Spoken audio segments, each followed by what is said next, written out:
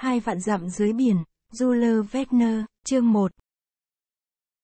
Năm 1866 được đánh dấu bằng một sự kiện kỳ lạ, một hiện tượng không được giải thích và không thể giải thích nổi mà chắc chưa ai quên. Những lời đồn đại về hiện tượng bí hiểm đó chẳng những làm nhân dân các thành phố cảng và các lục địa xôn xao, mà còn gây hoang mang lớn trong đám thủy thủ. Cánh lái buôn, chủ tàu, thuyền trưởng ở châu Ohio và châu Mỹ, các sĩ quan hải quân các nước, và sau đó nhiều chính phủ ở cả hai châu đều hết sức lo lắng về sự kiện này.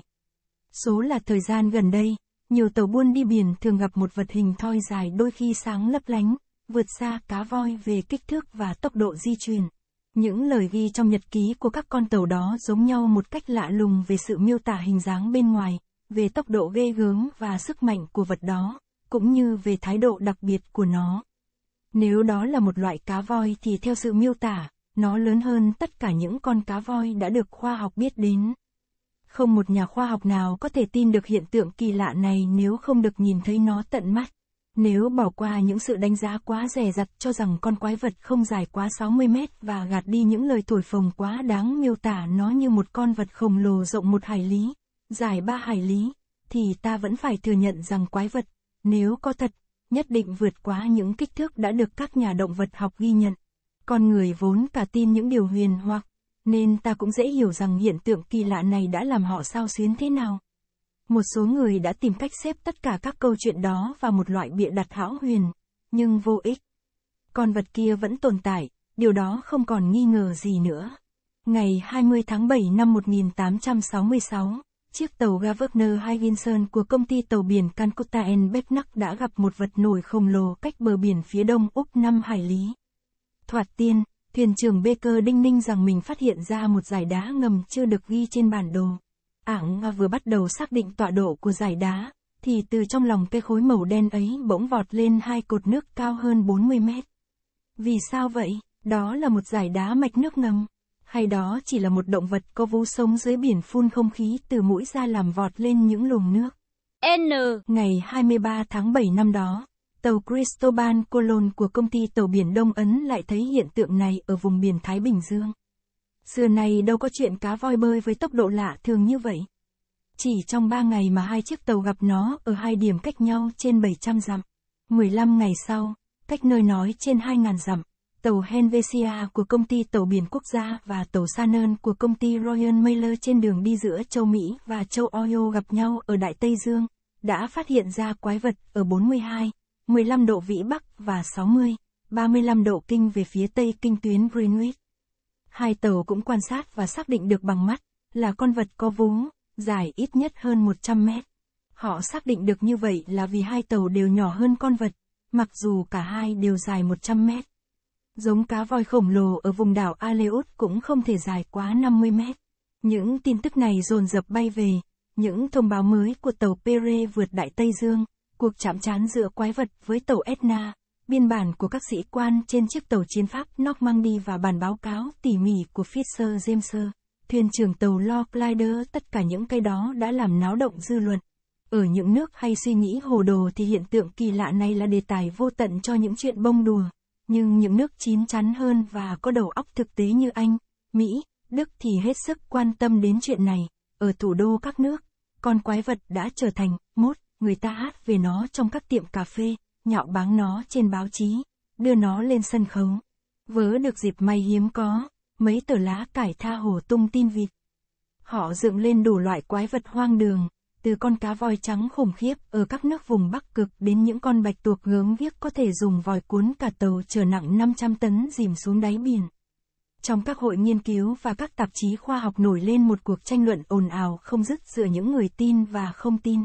Các nhà báo, những người yêu khoa học trong cuộc tranh cãi với đối phương, đã phải đổ biết bao nhiêu mực thậm chí một số đã đổ cả máu vì cuộc đấu khẩu về con rắn biển đó dẫn tới những trận đấu chân đấu tay thực sự. Cuộc chiến tranh này đã kéo dài suốt 6 tháng dòng không phân thắng bại. Mấy tháng đầu năm 1867, câu chuyện quái vật hình như đã bị chôn vùi và chẳng cần gợi lại làm gì. Nhưng những sự kiện mới lại lan truyền trong công chúng. Bây giờ không còn là chuyện giải quyết một vấn đề khoa học thú vị nữa, mà là một nguy cơ nghiêm trọng. Quái vật đó đã biến thành một hòn đảo, một giải đá ngầm di động, bí hiểm, không thể bắt được. Mùng 5 tháng 3 năm 1867, tàu Moravian của công ty tàu biển Montreal đang chạy nhanh ở 27, 30 độ vĩ và 72, 15 độ kinh bỗng đâm phải một dải đá ngầm không thấy ghi trên một bản đồ hoa tiêu nào. Nhờ gió thuận và động cơ mạnh 400 sức ngựa, chiếc tàu chạy với tốc độ 13 hải lý một giờ. Tàu đâm mạnh đến nỗi nếu vỏ tàu không thật vững vàng thì nhất định sẽ bị đắm cùng với 237 thủy thủ và hành khách từ Canada về. Cuộc va chạm xảy ra lúc dạng đông, khoảng 5 giờ sáng. Các sĩ quan trực nhật lao tới mũi tàu.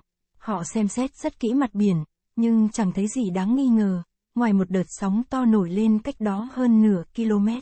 Xác định tọa độ xong, tàu Moravian lại tiếp tục hành trình mà không thấy chỗ nào bị hư hại. Nó đã va phải cái gì vậy? Một giải đá ngầm hay xác một chiếc tàu bị đắm? Chẳng ai biết cả, nhưng sau đó, khi xem xét phần dưới của tàu ở xưởng sửa chữa, người ta thấy một bộ phận của lòng tàu bị hư hại.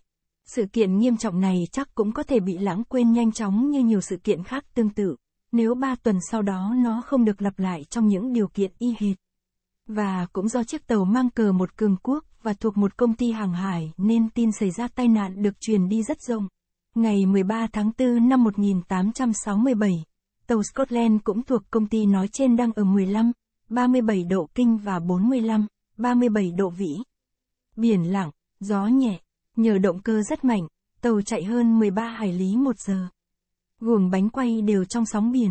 4 giờ 17 phút chiều, khi hành khách đang ăn trong phòng ăn thì thân tàu bỗng rung lên vì va nhẹ vào một vật gì đó ở phía lái, sau guồng bên trái một chút. Xét tính chất của va chạm, có thể đoán là tàu vừa bị một vật nhọn đâm vào. Nhưng có lẽ cũng chẳng ai chú ý tới sự việc đó nhiều, nếu thợ đốt lò không chạy lên bong và kêu ầm lên, hầm tàu bị thủng, hầm tàu bị thủng, trong giây phút đầu, hành khách hoang mang nhốn nháo, nhưng thuyền trưởng Anderson đã làm họ bình tĩnh lại. Thực ra tàu không bị đe dọa gì, vì nó được chia thành 7 ngăn riêng biệt không thấm nước, nên một chỗ dò dỉ nhỏ chẳng đáng sợ. Anderson lập tức xuống hầm tàu. Ảng ta thấy ngăn số 5 bị ngập nước, căn cứ vào tốc độ nước ùa vào, thì lỗ thủng ở thân tàu khá to. Cũng may là ở ngăn này không có nổi hơi, nếu có thì đã bị tắt ngấm. Anderson ra lệnh tắt máy và cử một thủy thủ lặn xuống nước xem xét chỗ thủng. Mấy phút sau xác định được rằng phần dưới thân tàu có một lỗ thủng rộng 2 mét. Vì không có khả năng bịt kín chỗ đó nên tàu Scotland phải tiếp tục hành trình, để guồng bánh xe ngập một nửa xuống nước. Tai nạn xảy ra cách mũi cổ 300 hải lý. Thế là tàu Scotland cập bến Liverpool chậm mất 3 ngày, là mọi người hết sức lo lắng. Tàu được đưa vào xưởng sửa chữa để các kỹ sư xem xét. Họ không tin ở mắt mình nữa, ở thân tàu, dưới mặt nước 2 mét rưỡi, có một lỗ thủng hình tam giác cân. Ba cạnh của lỗ thủng rất nhẵn, tựa như bị kéo cắt. Rõ ràng là vật chọc thủng thân tàu phải có độ rắn rất cao. Hơn nữa sau khi xuyên qua lá thép dày 4cm, nó tự rút ra được. Sự việc đó không ai giải thích nổi, từ ngày đó, tất cả những tai nạn ngoài biển mà không có nguyên nhân đều quy cả cho quái vật. Nó phải chịu trách nhiệm về nhiều vụ đắm tàu. Đáng tiếc rằng số tàu bị đắm khá lớn và ít nhất có 200 trong số tàu đắm được coi là mất tích. Dù sao thì cũng do quái vật mà giao thông giữa các lục địa ngày càng nguy hiểm. Dư luận tha thiết yêu cầu phải trừ khử quái vật đó bằng bất kỳ giá nào. Chương 2, tán thành và phản đối. Khi xảy ra những việc vừa kể trên thì tôi đã hoàn thành công việc nghiên cứu ở bang Nebraska, Bắc Mỹ, và đang quay về. Chính phủ Pháp cử tôi vào đoàn nghiên cứu khoa học với tư cách là phó giáo sư của Viện Bảo tàng Lịch sử Tự nhiên Paris. Sau khi đã đi khắp miền Nebraska trong 6 tháng và thu thập được những bộ hiện vật hết sức quý giá, cuối tháng 3 tôi về tới New York. Tôi dự định sẽ lên đường về Pháp vào đầu tháng 5. Vì vậy, mấy ngày rỗi rãi còn lại trước khi xuống tàu, tôi dành để xếp loại những bộ siêu tập về khoáng vật, thực vật và động vật của tôi. Chính lúc đó tàu Scotland gặp nạn. Tất nhiên tôi theo dõi sát mọi việc đã làm dư luận xôn xao. Tôi đã đọc đi đọc lại tất cả những báo chí châu Mỹ và châu Ohio, nhưng những cái đó cũng chẳng soi sáng gì thêm cho vấn đề đang làm mọi người thắc mắc. Câu chuyện bí hiểm đã kích thích tính tò mò của tôi. Tôi tới New York đúng lúc đang nổi lên những cuộc tranh cãi gay gắt xung quanh câu chuyện này. Những giả thiết về hòn đảo di động, về giải đá ngầm do những người ít thẩm quyền đề ra, đã bị vứt bỏ hoàn toàn. Thật vậy, giải đá ngầm, sao có thể di chuyển với tốc độ như vậy nếu nó không có máy móc cực mạnh? Giả thiết cho rằng đó là xác một chiếc tàu khổng lồ bị đắm trôi đi với tốc độ ghê gớm như vậy cũng bị gạt bỏ. Còn lại hai giả thiết có người ủng hộ, một số người cho rằng mọi sự bất hạnh đều do một con vật khổng lồ gây ra, một số khác thì cho rằng đó là một chiếc tàu ngầm có động cơ cực mạnh. Giả thiết cuối cùng đó có vẻ gần sự thật hơn cả, nhưng lại bị bác bỏ sau những cuộc điều tra ở cả hai bán cầu. Khó có thể tin rằng một tư nhân nào lại có được một chiếc tàu như vậy. Nó đã được đóng bao giờ và ở đâu? Và việc đóng một chiếc tàu khổng lồ như vậy làm sao có thể giữ kín được? Chỉ nhà nước mới có thể chế tạo ra những loại máy có sức phá hoại ghê gớm như vậy. Ở thời đại chúng ta, khi trí tuệ con người rất thành thạo trong việc sáng chế ra những công cụ giết người thì cũng dễ tin được rằng có một nước nào đó đã bí mật chế tạo và đem thử chiếc tàu khủng khiếp này. Nhưng cuối cùng giả thiết về một chiếc tàu ngầm quân sự đã đổ sụp, vì tất cả các chính phủ đều tuyên bố là không dính dáng gì đến chuyện này. Không thể nghi ngờ được sự thành thật của những bản tuyên bố đó, vì các đường biển quốc tế đều bị đe dọa. Hơn nữa, việc đóng một chiếc tàu ngầm khổng lồ như vậy không thể thoát khỏi sự chú ý của dư luận. Giữ bí mật trong những điều kiện như vậy đối với tư nhân đã hết sức khó, còn đối với từng nước là điều không tường vì mỗi hành động của họ đều bị các cường quốc đối địch theo dõi gắt gao. Thế là sau khi điều tra ở các nước Anh, Pháp, Nga, Phổ, Tây Ban Nha, Italia, Mỹ và cả Thổ nữa, giả thiết về tàu ngầm đã phá sản hoàn toàn. Mặc dù bị những tờ báo lá cải chế diễu, con quái vật kia lại nổi lên mặt nước. Óc tưởng tượng được kích động lại vẽ nên những bức tranh vô lý nhất trong lĩnh vực khoa học viễn tường. Về tới New York, tôi có vinh dự được nhiều người đến hỏi ý kiến về vấn đề này. Ở Pháp tôi có cho xuất bản cuốn sách in thành hai tập, nhan đề, những bí mật của biển sâu. Cuốn sách đó được giới khoa học hoan nghênh và đã khiến tôi trở thành chuyên gia nổi tiếng về một lĩnh vực ít được nghiên cứu của lịch sử tự nhiên. Người ta yêu cầu tôi phát biểu ý kiến về vấn đề này. Nhưng trong tay tôi không có một tài liệu cụ thể nào nên tôi từ chối, lấy cớ là hoàn toàn không hiểu biết gì cả. Tuy nhiên, bị dồn vào chân tường, tôi đành phải nói lên phán đoán của mình. Và cuối cùng, tôn ông Aronac, giáo sư viện bảo tàng Paris, mà các phóng viên báo New York Herald yêu cầu, phát biểu ý kiến, phải đầu hàng. Tôi lên tiếng vì im lặng mãi cũng không tiện, tôi xem xét vấn đề về cả mọi mặt chính trị và khoa học. Tôi xin trích ra đây mấy đoạn trong bài báo đăng ngày 30 tháng 4. Sau khi cân nhắc từng giả thiết đã được đề ra và không có những giả thiết khác vững chắc hơn, chúng ta đành thừa nhận sự tồn tại của một con vật sống dưới biển có sức mạnh phi thường. Những lớp nước sâu của đại dương hầu như chưa được nghiên cứu. Chưa một cuộc thăm dò nào xuống được tới những lớp nước đó. Cái gì đang xảy ra dưới vực thẳm chưa ai biết đến ấy. Những sinh vật nào đang sống và có thể sống ở độ sâu 12 hay 15 hải lý dưới mặt biển. Cơ thể của chúng ra sao? Bất kỳ giả thiết nào cũng chỉ là phỏng đoán mà thôi. Nhiệm vụ đặt ra cho chúng ta có thể giải quyết bằng hai cách, hoặc là chúng ta đã biết hết các loài sinh vật sống trên hành tinh chúng ta, hoặc là chưa biết hết. Nếu ta chưa biết hết, nếu trong lĩnh vực ngư học, thiên nhiên còn giấu ta nhiều điều bí mật, thì chẳng có cơ sở nào để không thừa nhận sự tồn tại của những con cá, hay động vật có vú thuộc những giống, loài mà ta chưa biết, những sinh vật đặc biệt sống được ở các lớp nước sâu, chỉ thỉnh thoảng mới nổi lên mặt biển do tác động của các quy luật vật lý nào đó, hoặc do tinh khí bất thường của thiên nhiên. Trái lại, nếu ta đã biết hết các loài động vật, thì cần tìm kiếm con vật nói trên trong số những con vật biển đã được phân loại. Trong trường hợp này, tôi sẵn sàng cho rằng đây là một con cá thiết hình khổng lồ. Cá thiết hình bình thường, hay cá một sừng, dài tới 18 mét. Hãy nhân kích thước nó lên 5 lần, 10 lần, hãy cho nó một sức mạnh, một cây sừng cân xứng với thân hình nó. Như vậy các bạn sẽ hình dung được con quái vật. Nó sẽ có kích thước mà các sĩ quan tàu Shannon cho biết, có cái sừng nhọn đâm thủng được tàu Scotland và các tàu vượt đại dương khác. Cá thiết hình có một sừng lớn sắc như gươm và rắn như thép. Người ta đã nhiều lần thấy những vết thương trên mình cá voi là loại động vật mà bao giờ cá thiết hình cũng đánh thắng. Nhiều khi người ta lấy được những mảnh vụn của sừng cá ở vỏ tàu bằng gỗ bị đâm thùng. Viện Bảo tàng của Đại học Y khoa Paris có một cây sừng cá thiết hình dài 2 m 25 cm, chu vi chỗ to nhất là 48 cm. Chúng ta hãy hình dung một cây sừng lớn hơn 10 lần, con cá mạnh hơn 10 lần, bơi nhanh 25 hải lý một giờ, hãy nhân khối lượng của con cá với tốc độ của nó, thì sẽ hiểu được nguyên nhân gây ra tai nạn.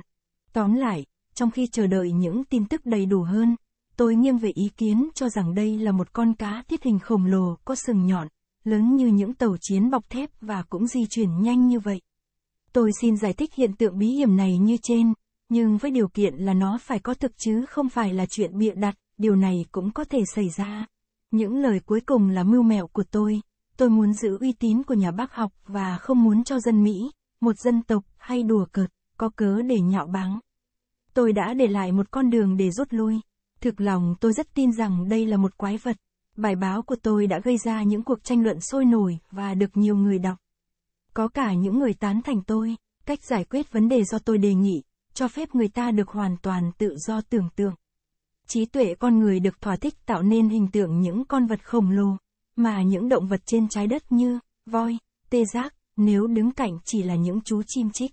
Môi trường nước sản ra những loài có vú rất lớn, có lẽ cả những loài nhuyễn thể khổng lồ, những loài giáp xác khủng khiếp, những con cua nặng 200 tấn. Đã có một thời, những động vật trên trái đất, những loài bốn chân bốn tay, bò sát và chim đều có hình thù đồ sộ. Sau đó thời gian đã rút ngắn kích thước của chúng lại. Vì sao ta không thể cho rằng dưới các lớp biển sâu chưa được nghiên cứu còn bảo tồn được những động vật khổng lồ của những thời kỳ xa xưa nhất? Nhưng nếu tất cả câu chuyện huyền bí đó đối với một số người chỉ có ý nghĩa thuần túy khoa học, thì những người có đầu óc thực tế hơn, đặc biệt là người Mỹ và người Anh, lại rất lo lắng đến sự an toàn của các đường giao thông vượt đại dương và đặt việc trừ khử con quái vật ra một cách cấp thiết. Báo chí đại diện quyền lợi của các giới công nghiệp và tài chính xem xét vấn đề này một cách nguyên tắc, nghĩa là từ mặt thực tế này. Dư luận các nước, trước hết là Mỹ, ủng hộ sáng kiến đó của giới kinh doanh. Ở New York, người ta bắt đầu chuẩn bị một chuyến đi đặc biệt, nhằm tìm kiếm con cá thiết hình đó. Chiếc tàu chiến Abraham Lincoln phải gấp rút ra khơi ngay. Cửa các kho quân sự được mở ra để cung cấp mọi thứ cần thiết cho thuyền trưởng Farragut, chỉ huy tàu. Nhưng đúng lúc có quyết định trang bị cho đoàn thám hiểm, thì con cá lại biến mất. Suốt hai tháng trời con cá chẳng thấy tăm hơi nó đâu. Chẳng một chiếc tàu nào gặp nó. Hình như con cá cảm thấy người ta đang mưu hại nó. Người ta đã nói đến chuyện đó quá nhiều, lại truyền đi bằng cả đường điện tín đặt ngầm dưới Đại Tây Dương nữa. Những người hay đùa quả quyết rằng con cá xảo quyệt đó đã tóm được bức điện và đã có những biện pháp đề phòng. Chiếc tàu chiến đã chuẩn bị xong để đi xa, được trang bị loại đạn bắn cá voi rất mạnh, nhưng sẽ đi hướng nào thì chẳng ai được biết. Tình trạng căng thẳng đang lên tới đỉnh cao thì bỗng ngày 2 tháng 7 có tin đồn là chiếc tàu chạy thường xuyên giữa San Francisco và Thượng Hải ba tuần trước đây đã gặp quái vật ở phía Bắc Thái Bình Dương. Tin đó đã gây một ấn tượng rất mạnh. Thuyền trưởng Farragut chỉ còn không đầy 24 tiếng đồng hồ để chuẩn bị. Lương thực đã được chất lên tàu. Các hầm tàu đầy áp than, thủy thủ đã tập hợp đông đủ. Chỉ còn việc đốt lò và nhổ neo. Farragut không được phép chậm trễ dù chỉ mấy giờ. Và lại, chính Farragut cũng nôn nóng muốn ra khơi ngay. Trước khi tàu Lincoln nhổ neo 3 tiếng đồng hồ, tôi nhận được một bức thư, nội dung như sau. Kính gửi ngài Aronac, giáo sư Viện Bảo tàng Paris. Khách sạn, đại lộ số 5, New York. Thưa ngài, nếu ngài có ý muốn tham gia đoàn thám hiểm trên tàu Abraham Lincoln, thì chính phủ Mỹ sẽ lấy làm hài lòng về việc ngài thay mặt nước Pháp đóng góp vào việc này. Thuyền trưởng Farragut sẽ dành cho ngài một phòng riêng trên tàu. Kính chào ngài Bộ trưởng Bộ hàng Hải Đờ, B. Hobson. Chương 3, xin tùy giáo sư, khi nhận được thư của ông Hobson, tôi đang vừa nghĩ nhiều về việc bắt con cá một sừng, vừa nghĩ nhiều về ý định vượt qua những cánh đồng Tây Bắc. Tuy vậy, đọc xong thư của ông Bộ trưởng, tôi hiểu ngay rằng sứ mệnh thực sự của tôi, mục đích của cả cuộc đời tôi là phải tiêu diệt được con quái vật này, không cho nó làm hại mọi người. Tôi vừa kết thúc một cuộc hành trình gian khổ nên rất mệt mỏi và cần nghỉ ngơi. Tôi rất mong trở về Tổ quốc, về với bạn bè và căn phòng ở vườn bách thú, về với những bộ siêu tập quý giá của tôi. Nhưng không gì có thể ngăn cản tôi tham gia đoàn thám hiểm này. Sự mệt nhọc, bạn bè, những bộ siêu tập tất cả đều bị quên đi. Không cần suy nghĩ nhiều, tôi nhận ngay lời mời của chính phủ Mỹ. Tôi nghĩ dù thế nào, mọi con đường cũng đều dẫn tới bờ biển nước Pháp. Nó sẽ giúp ta mang về viện bảo tàng tự nhiên Paris cái sừng dài không dưới nửa mét của nó. Nhưng trong khi chờ đợi tương lai xa xôi đó, tôi còn phải tìm nó ở phía Bắc Thái Bình Dương, nói khác đi, là phải đi về phía ngược với nước Pháp. Công xây, tôi nóng ruột gọi to. Công xây là người giúp việc tôi và theo tôi đi khắp nơi. Tôi mến anh ta và anh ta cũng quý tôi. Công xây tính điềm đạm, trung thực, cần cù, thường nhìn nhận các bước ngoặt của số phận một cách triết lý, rất khéo tay và luôn sẵn sàng giúp đỡ mọi người. Trái hẳn với tên gọi, anh ta chẳng bao giờ khuyên ai, ngay cả khi người ta đến hỏi ý kiến. Vì thường xuyên tiếp xúc với giới khoa học của vườn bách thú. Công xây học tập được nhiều điều. Anh ta chuyên về phân loại tự nhiên, rất thành thạo về các kiểu, nhóm, lớp, bộ, họ, giống, loài. Nhưng kiến thức của anh ta đến đấy cũng là hết. Phân loại là năng khiếu tự nhiên của công xây, anh ta không tiến xa nữa. Nhưng dù sao công xây cũng là người rất tốt.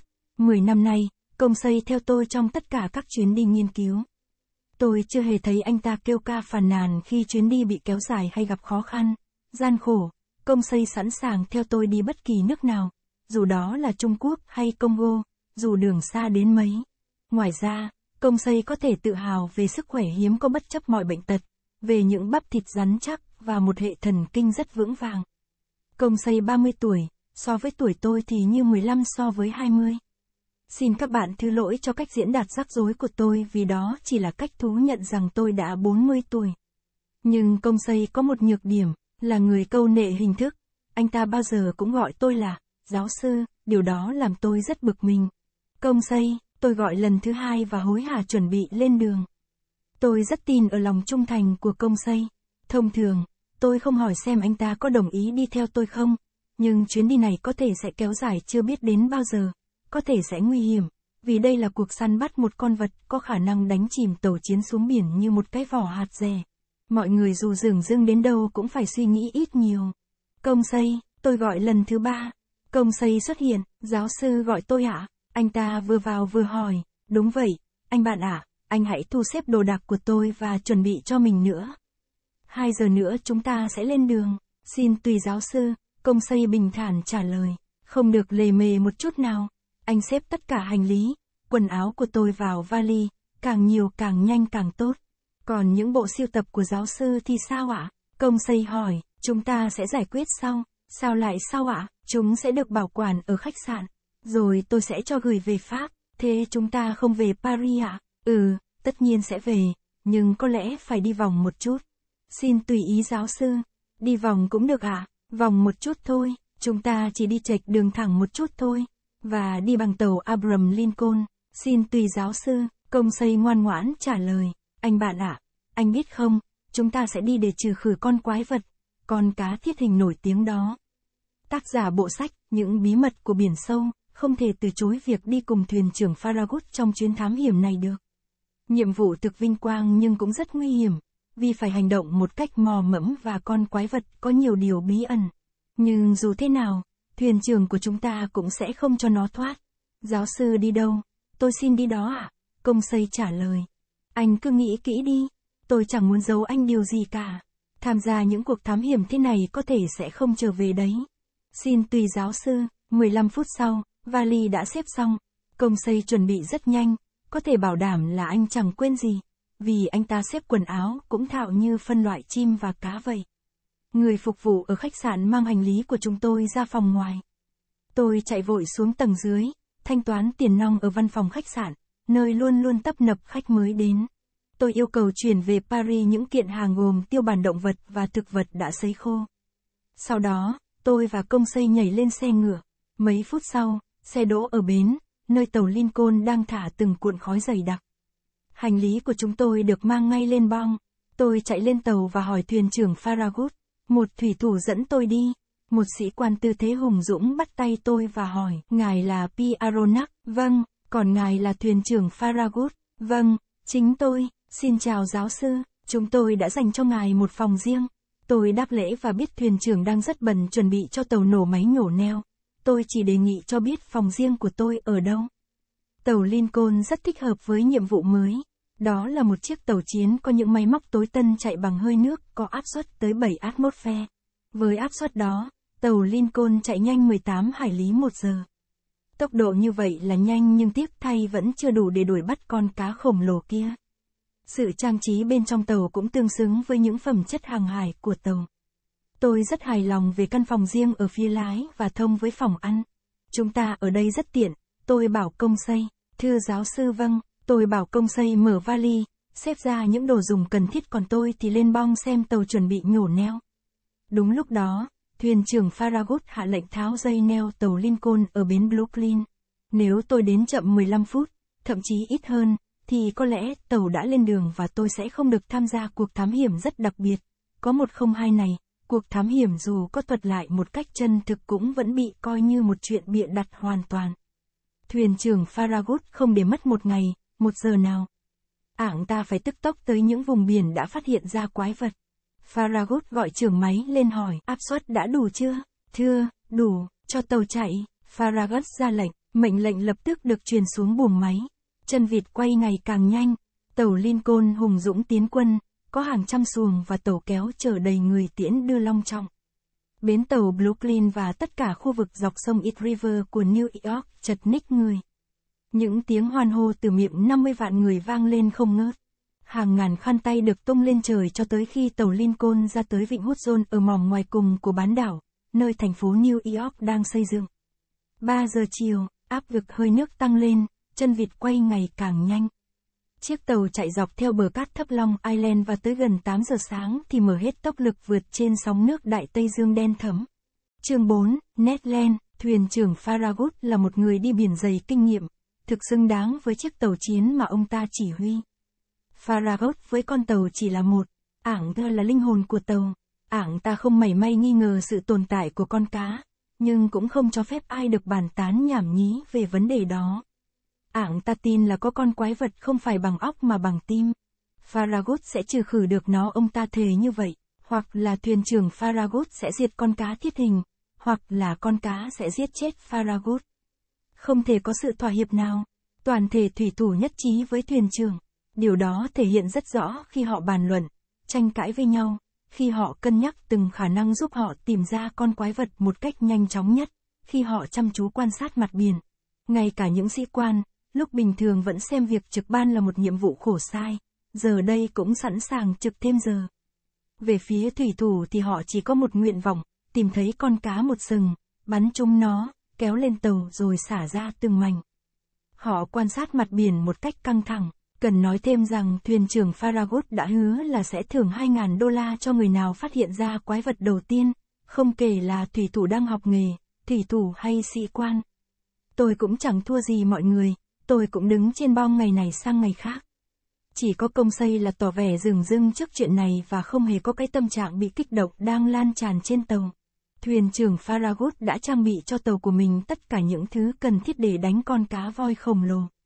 Không một chiếc tàu đánh cá voi nào có thể được trang bị tốt hơn. Trên tàu Lincoln có tất cả các thứ đạn bắn cá voi hiện đại nhất, từ loại đạn giống mũi tên nhọn phóng đi bằng tay, đến các loại đạn phá bắn bằng súng nòng dài. Phía mũi tàu có một cỗ đại bác kiều cải tiến bắn loại đạn hình nón nặng 4 kg đi xa 16 km. Tóm lại, tàu Lincoln được trang bị tất cả các loại vũ khí ghê gớm nhất. Nhưng chưa hết, trên tàu còn có Netland, vua, bắn cá voi. Netland, gốc Canada, là thợ săn cá voi giỏi tuyệt vời. Anh ta chưa hề gặp đối thủ trong cái nghề nguy hiểm của mình. Ở Netland, sự khéo léo và bình tĩnh, lòng can đảm và sự nhanh trí đã kết hợp với nhau một cách cân đối. Cá voi hay cá nhà táng phải quỷ quyệt danh ma lắm mới thoát được phát đạn của anh ta. Netland khoảng gần 40 tuổi. Anh ta cao lớn, vạm vỡ, vẻ mặt khắc khổ, ít cởi mở, nóng tính, nên hơi một chút là nổi giận đùng đùng.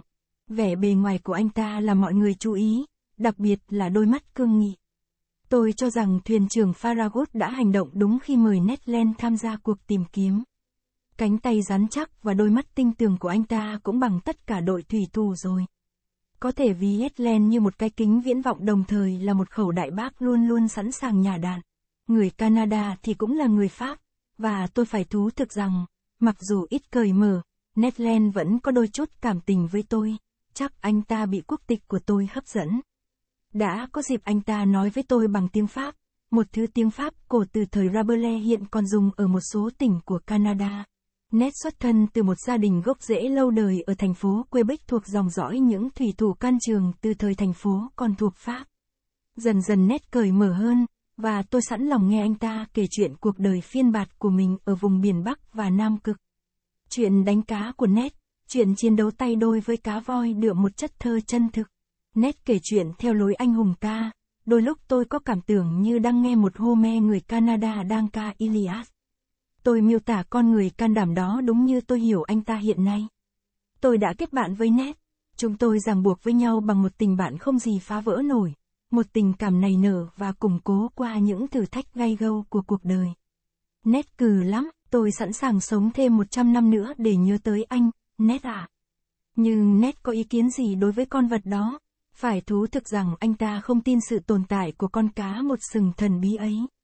Và là người duy nhất trên tàu không tán thành sự mù quáng của số đông. Thậm chí anh ta lảng tránh không động chạm tới chuyện con quái vật mà tôi có lần định nói với anh ta. Buổi chiều ngày 30 tháng 7 tuyệt đẹp, ba tuần sau khi tàu nhổ neo, chúng tôi tới gần mũi Blanc. Tàu vượt qua chi tuyến Nam và chỉ còn 700 hải lý nữa về phía Nam là tới eo biển Magellan. 8 ngày nữa tàu Lincoln sẽ bắt đầu rẽ sóng Thái Bình Dương. Tôi và Netland ngồi ở phía trước tàu nói chuyện phiếm, mắt không rời khỏi mặt biển. Câu chuyện tất nhiên chuyển sang vấn đề con cá một sừng, khổng lồ. Tôi bắt đầu điểm qua tất cả các trường hợp có thể quyết định ít nhiều sự thất bại của chuyến đi này. Nhưng thấy nét lảng tránh, tôi đặt thẳng vấn đề, ảng nét ạ, sao ông có thể nghi ngờ sự tồn tại của con cá mà chúng ta đang tìm diệt? Ảng có cơ sở gì để không tin vào những sự việc đã xảy ra? Nét đưa mắt nhìn tôi khoảng một phút, trước khi trả lời, anh ta theo thói quen vỗ chán một cái rồi nhắm mắt lại dường như để tập trung tư tưởng, rồi mới nói, có cơ sở vững chắc, ngài Aronak ạ, ảng hãy nghe tôi, ông Nét, ảng là thợ săn cá voi chuyên nghiệp, ông đã từng gặp những con cá rất lớn. Lẽ ra ông phải tin hơn nhiều người khác là có một con cá khổng lồ thật, như thế mới đúng. Ai chứ ông thì trong trường hợp này không nên là kẻ nghi ngờ. Ngài lầm rồi, giáo sư ạ, nếu người rốt nát tin rằng có những ngôi sao trổi báo điểm dữ đang bay trên trời, rằng trong lòng đất có những con quái vật thời cổ xưa thì họ cứ việc tin. Nhưng nhà thiên văn học và nhà địa chất học thì thấy những chuyện huyền hoặc đó thật nực cười. Người đánh cá voi cũng vậy, tôi đã bao lần săn cá voi, bắn chúng và diệt được cũng nhiều. Nhưng dù chúng có to và khỏe đến đâu thì sừng và đuôi của chúng cũng không thể đâm thủng được vỏ tàu bằng kim loại. Nhưng ông nét ả, người ta kể lại rằng có những trường hợp răng cá thiết hình đâm xuyên qua vỏ tàu. Tàu gỗ thì được thôi, nhưng tôi cũng chưa thấy, và khi chưa thấy tận mắt thì tôi chưa thể tin được rằng cá voi, cá nhà táng và cá một sừng lại có thể đâm thủng tàu. Ảng hãy nghe tôi, ông Nét, xin lỗi giáo sư, giáo sư muốn nói gì thì nói, nhưng đó nhất định không phải là cá. Là loại bạch tuộc khổng lồ thì còn có lý hơn, bạch tuộc càng ít khả năng hơn, ông Nét ạ. Bạch tuộc là loài có thân mềm, dù nó dài 150 mét đi nữa thì nó vẫn là một loài không xương sống và hoàn toàn vô hại đối với những tàu lớn như Scotland và Lincoln.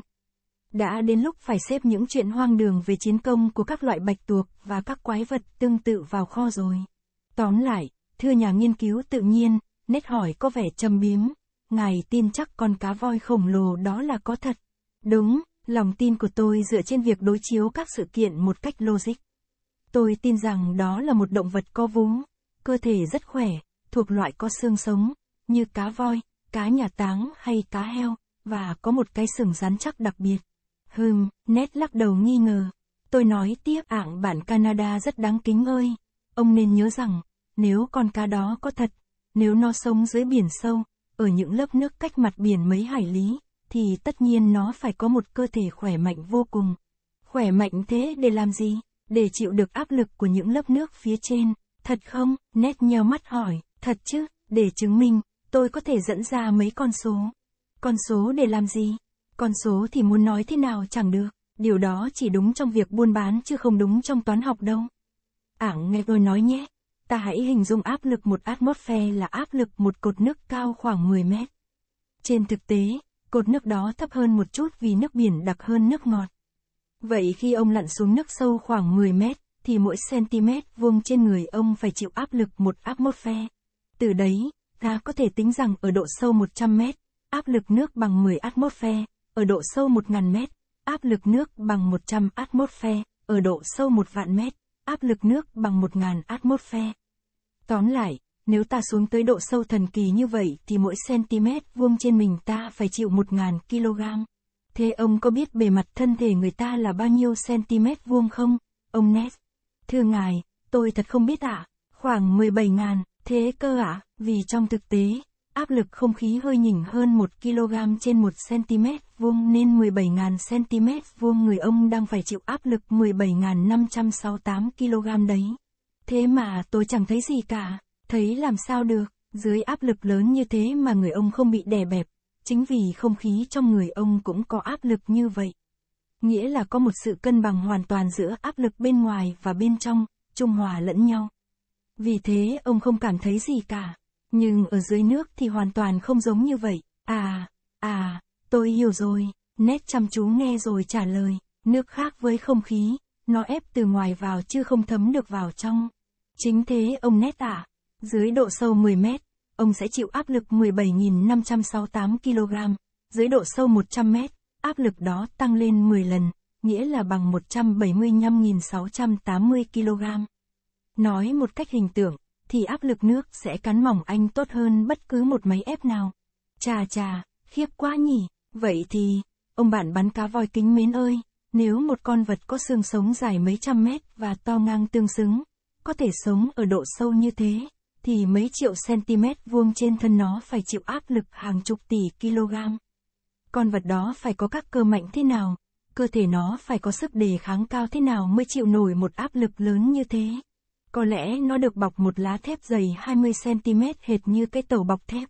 Có lẽ thế đấy, ông nét ạ, à, ảng thử nghĩ xem, một khối đồ sộ như vậy, lao đi với tốc độ xe lửa chạy nhanh, mà đâm vào thân tàu thì sẽ có sức phá hoại thế nào? Vâng, đúng vậy, có thể, nét trả lời, anh ta lúng túng vì những con số đó, nhưng vẫn chưa muốn đầu hàng. Thế nào, ông tin rồi chứ, ngài đã thuyết phục tôi được một điều. Nếu quả thực dưới biển sâu có những con vật như vậy thì chúng phải rất khỏe đúng như ngài nói. Nhưng nếu ông cứ cãi bướng là chúng không có thực thì ông sẽ giải thích vụ tàu Scotland như thế nào? Giải thích thế này, nét ngập ngừng, nào, nào, nói đi, giải thích rằng tất cả những cái đó đều là chuyện bịa đặt. Nhưng trả lời như vậy chỉ chứng tỏ là nét ương bướng chứ chẳng có gì khác. Hôm đó, tôi để anh ta yên, vụ tàu Scotland không còn nghi ngờ gì nữa. Tàu bị thủng to đến nỗi phải hàn lại, và tôi thấy chẳng cần đòi hỏi những chứng cứ có tính thuyết phục hơn làm gì. Tàu không thể tự nhiên bị thủng, và vì đã loại trừ những ý kiến cho rằng tàu đã đâm phải một dải đá ngầm hay một viên đạn bắn cá voi, nên mọi sự đều gán cả cho cái sừng nhọn của quái vật. Tóm lại, dựa vào những lý lẽ đã trình bày ở trên, tôi xếp quái vật vào kiểu có xương sống, lớp có vú, bộ cá voi. Còn xếp nó vào họ, giống, loài nào thì sau này mới biết rõ được. Muốn giải quyết vấn đề này, cần phải mổ quái vật, muốn mổ thì phải bắt được. Muốn bắt được thì phải bắn chúng đó là việc của Netland, muốn bắn chúng thì phải tìm ra đó là việc của cả tàu, muốn tìm ra thì phải gặp đó lại là chuyện may rủi. Chương 5, may rủi, lúc đầu, tàu Lincoln chạy một cách đơn điệu, chỉ có một lần Netland được dịp trổ tài khiến mọi người phải kính nể. Ngày 30 tháng 6, ở độ vĩ các đảo Malouin, tàu Lincoln bắt liên lạc với chiếc tàu đánh cá voi Monroe đang đi ngược chiều. Nhưng tàu đó chẳng được tin gì về con cá thiết hình cả. Khi thuyền trưởng tàu Monroe biết trên tàu bản có Netland, ông ta bèn yêu cầu Ned bắn giúp con cá voi mà họ đã phát hiện ra ở vùng biển này. Vì tò mò muốn xem Ned làm ăn thế nào, thuyền trưởng Farragut cho phép Ned sang tàu Monroe. Cuộc săn bắn rất đạt, Ned hạ được những hai con cá voi, một con hạ tại chỗ bằng một phát trúng tim, con thứ hai thì phải săn đuổi mất mấy phút. Thật tình, tôi không dám đảm bảo tính mạng cho con cá voi nào chạm trán với nét. Tàu lướt nhanh dọc bờ biển đông nam của Nam Mỹ, và ngày mùng 3 tháng 7 đã tới cửa vào eo biển Magellan. Nhưng thuyền trưởng Farragut không muốn vào cây eo khúc khuỷu đó nên hướng tàu về mũi Hawk. Toàn hạm tàu tán thành quyết định của thuyền trưởng, thực tế làm gì có khả năng gặp con cá một sừng ở eo biển hẹp này. Phần lớn, thủy thủ đều đinh ninh rằng con quái vật khổng lồ không thể bơi qua được eo này. Ngày 6 tháng 7, khoảng 3 giờ chiều, tàu Lincoln vòng qua hòn đảo đơn độc, mỏm đá cực nam của Nam Mỹ mà những người đi biển Hà Lan đã lấy tên thành phố Hóc quê hương mình để đặt cho. Vòng qua mũi Hóc, chúng tôi hướng về phía tây bắc và sớm hôm sau tàu bắt đầu vào vùng biển Thái Bình Dương. Chú ý đấy, chú ý đấy, L, thủy thủ tàu Lincoln bảo nhau. Họ chăm chú quan sát. Món tiền thưởng 2.000 đô la hấp dẫn họ. Mắt họ và ống nhòm chẳng giây phút nào được nghỉ. Ngày đêm họ dõi nhìn mặt biển. Tôi không ham gì tiền thưởng nhưng cũng làm như họ. N, tôi cũng vội, ngủ, cũng chẳng yên. Mặc dù nắng cháy và mưa xối xả, tôi vẫn không rời bom tàu. Tôi đăm đăm nhìn những ngọn sóng bạc đầu lan tận chân trời. Và đã bao lần tôi cùng anh em thủy thủ phải hồi hộp khi thấy cá voi phơi lưng đen trên mặt nước. Những lúc ấy, thủy thủ chạy ùa cả lên bong. Họ nín thở và căng mắt ra theo dõi con cá. Tôi cũng cố sức nhìn, đến mức có thể hỏng võng mô và mù mắt. Nhưng chúng tôi đều hồi hộp một cách uổng công vô ích. Nhiều lần tàu Lincoln đã tiến sát con cá, nhưng đó chỉ là một con cá voi hay cá nhà táng bình thường. Chúng bỏ chạy khi nghe tiếng hò hét của thủy thủ. Trời rất đẹp, tàu chạy trong những điều kiện thuận lợi, mặc dù lúc đó đang mùa mưa lớn. Biển lặng, tầm nhìn rất xa, Ned Land vẫn tỏ vẻ hoài nghi. Anh ta cố ý không lên bong trong những giờ không phải trực. Cặp mắt tinh tường của anh ta lẽ ra có thể rất được việc. Nhưng trong 10 đồng hồ thì 8 tiếng anh chàng Canada bướng bỉnh này ngồi đọc sách hay nằm khàn trong phòng. Tôi đã trách anh ta hàng trăm lần về thái độ rừng rưng này. Nét trả lời, ải rào, thưa giáo sư, nếu con quái vật đó có thực thì liệu ta có nhiều may mắn tìm ra nó không? Đúng là ta chỉ tìm nó một cách hú họa. Người ta bảo đã thấy nó ở phía bắc Thái Bình Dương ư. Cho là thế, nhưng từ ngày đó tới nay đã hai tháng, mà tính con cá không thích ở lâu một chỗ. Chính ngài đã nói, con cá có khả năng di chuyển với tốc độ phi thường. Thưa giáo sư, ngài hẳn rõ hơn tôi rằng thiên nhiên không tạo ra cái gì không có mục đích. Thiên nhiên chẳng bao giờ phú cho con vật bản chất lười biếng một sự nhanh nhẹn như vậy cả. Vì vậy, nếu con cá là có thật, thì nó đã chuẩn đi rất xa rồi. Tất cả vấn đề là như vậy. Chúng tôi đang đi một cách hú họa, nhưng biết làm thế nào, hy vọng gặp con cá thiết hình ngày càng mong manh. Ngày 20 tháng 7, tàu vượt qua chi tuyến Nam ở 105 độ kinh và ngày 27 vượt xích đảo ở kinh tuyến 110 độ. Từ đây, tàu hướng mũi về phía Tây, về khu vực trung tâm của Thái Bình Dương. Thuyền trưởng Farragut phán đoán rất có lý rằng dễ bắt gặp con cá ở những vùng biển sâu, cách xa các lục địa và đảo lớn là những nơi nó không dám đến gần. Vùng biển gần bờ đối với nó quá rộng, người Hoa Tiêu giải thích cho chúng tôi như vậy. Tàu Lincoln chạy ngang qua các đảo Pomotu, Marquiser, Sandwich, vượt chi tuyến Bắc ở độ kinh 132 độ rồi tiến vào biển Trung Hoa. Cuối cùng, chúng tôi đã tới nơi diễn ra những chiến công mới nhất của quái vật. Mọi sinh hoạt trên tàu đều ngưng động lại, mọi người đều bị kích động đến cao độ, chẳng ai ăn ngủ gì được. Mỗi ngày khoảng 20 lần chúng tôi bị nôn nao lên vì một sự tính toán lầm, hoặc vì một thủy thủ nhìn gà hóa quốc. Thần kinh chúng tôi bị hưng phấn quá mức đến nỗi có nguy cơ sắp phản ứng lại. Và phản ứng đã xảy ra. Ba tháng, đã ba tháng dòng mà mỗi ngày dài như một thế kỷ. Tàu Lincoln rẽ sóng Thái Bình Dương để đuổi bắt những con cá voi gặp trên đường khi thì đột ngột đổi hướng, khi thì giảm tốc độ, khi lại phóng quá nhanh khiến máy móc trên tàu có thể bị hỏng. Từ bờ biển Nhật Bản đến bờ biển châu Mỹ, chẳng có chỗ nào không được xem xét kỹ. Nhưng vô ích, biển cả vẫn hoang vắng, mịt mùng, chẳng có một dấu hiệu gì của con cá thiết hình khổng lồ, của hòn đảo ngầm hay giải đá di động, chẳng có dấu vết gì của chiếc tàu bị đắm bập bềnh ở đây. Tóm lại, chẳng có gì lạ cả. Với tính hay dao động cố hữu của con người, đoàn thủy thủ đã đi từ cực này sang cực khác. Rất đáng buồn là những người trước kia ủng hộ cuộc thám hiểm hăng hái nhất bây giờ lại trở thành những kẻ phản đối nó kịch liệt nhất. Tình trạng bạc nhược lan tràn khắp tàu, và nếu thuyền trưởng Farragut không hết sức kiên trì thì chắc hẳn tàu Lincoln chẳng có điều gì đáng trách về thất bại này, vì họ đã làm mọi việc có thể làm được. Chỉ còn cách mau chóng quay tàu về nước, một kiến nghị như thế được trao cho thuyền trưởng, nhưng Farragut vẫn giữ ý định của mình. Anh em thủy thủ công khai tỏ vẻ bất mãn, kỷ luật trên tàu bị sa sút. Tôi không muốn nói rằng thủy thủ bắt đầu nổi loạn, nhưng sau một thời gian đấu tranh ngắn của họ, thuyền trưởng Farragut, giống như cô lông xưa kia, đành phải xin hoãn trong ba ngày. Nếu trong ba ngày nữa không phát hiện ra quái vật thì tàu Lincoln sẽ quay mũi về phía biển châu Ohio. Lời hứa của Farragut được công bố ngày 2 tháng 11. Tinh thần của thủy thủ lại lên ngay. Họ ham hở quan sát mặt biển, ai cũng muốn phóng tầm mắt nhìn đại dương lần cuối với hy vọng là sẽ thành công. Ống nhòm lại được sử dụng, hai ngày đã qua, tàu Lincoln chạy từ từ. Các thủy thủ nghĩ ra trăm phương ngàn kế để nhử con cá đến hay để khiêu khích nó nếu nó đang ở vùng biển này. Từng miếng mỡ to được buộc ở phía lái khiến lũ cá mập được một phen thỏa thích. Tàu đỗ lại, các xuồng nhỏ bơi ngang dọc xung quanh tàu, không để sót một điểm nào trên mặt biển.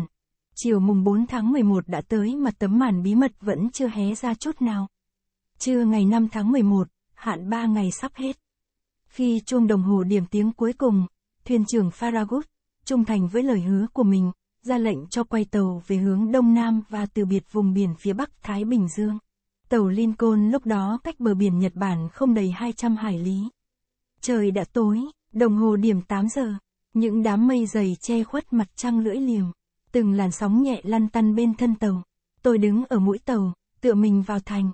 Công xây đứng cạnh tôi và nhìn thẳng về phía trước. Anh em thủy thủ trèo lên cao quan sát chân trời đang bị bóng đêm thu hẹp lại. Các sĩ quan dùng ống nhòm chăm chú theo dõi mặt biển đang tối dần. Đôi lúc mặt trăng lọt qua kẽ mây hắt những tia bạc xuống mặt biển màu thẫm. Nhưng mây đen lại kéo đến làm tắt ngấm ánh trăng. Nhìn công xây, tôi thấy anh ta lần đầu tiên hòa mình vào tâm trạng chung. Có thể là lần đầu tiên trong đời, thần kinh anh ta bị căng lên vì tò mò.